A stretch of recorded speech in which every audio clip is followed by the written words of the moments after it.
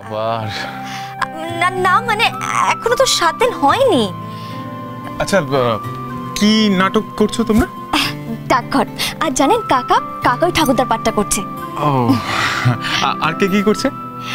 ওই তো মিজদা বলল যে ওই সহজ পাঠ থেকে একটা কবিতা আবৃত্তি করবে আর বড়বাবু বলেছে বড়বাবু একটা কবিতা আবৃত্তি করবে।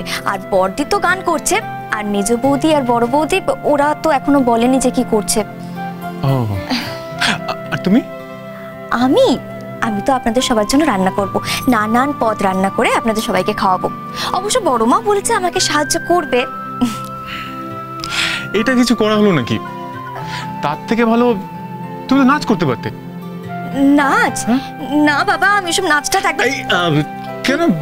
না কেন? তুমি তো দুর্গাপুজোর সময় নাচ করেছিলে? সে তো আমাকে ছুটি শিখিয়ে দিয়েছিল জোর করেছিল তাই করেছিলাম। কিন্তু ওই সমস্ত নাচ টাচ ওসব আমার দ্বারা একদম হবে না বাবা। আচ্ছা ছোটদা বাবু আপনি তো খুব ভালো গান করেন আমি শুনেছি। আপনি তো কালকে গান করতে পারেন। আমি গান গাইবো। হুম। আমি হচ্ছি বাথরুম সিঙ্গার। আর আমি যদি গান গাই তাহলে সবাইকে গান তুলে দিতে হবে। মোটেই না। আমাকে ছোটদি বলেছে। আপনি খুব ভালো গান করেন। আপনি স্কুলে কত সুন্দর করে গান করতেন আমাকে ছোটদি সব গল্প শুনিয়েছে আমি কোনো কথা শুনতে চাই না। আপনাকে কাল গান গাইতেই হবে ব্যাস। আচ্ছা আচ্ছা ঠিক আছে ঠিক আছে। আমি গান গাইব তবে একটা শর্তে। কি কি শর্ত?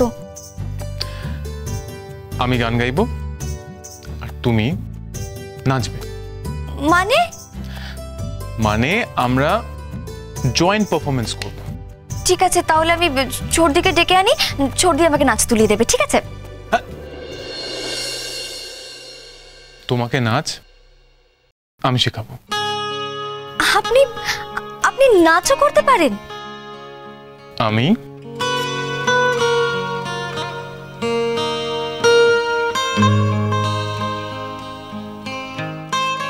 কি করছেন?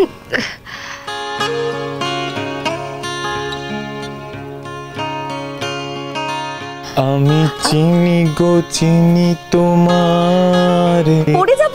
ও গো বিদেশিনী তুমি থাকো পড়ে যাব তো। সিন্ধুপারে ও না এই এই গানে হবে না। তাহলে? ওই গীতবিতান গীতবিতানটা কোথায় রেখেছেন বলুন তো?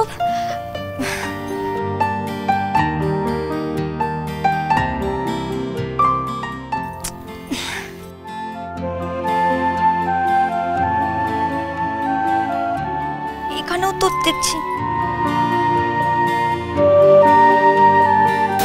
এ কি? এটা কি?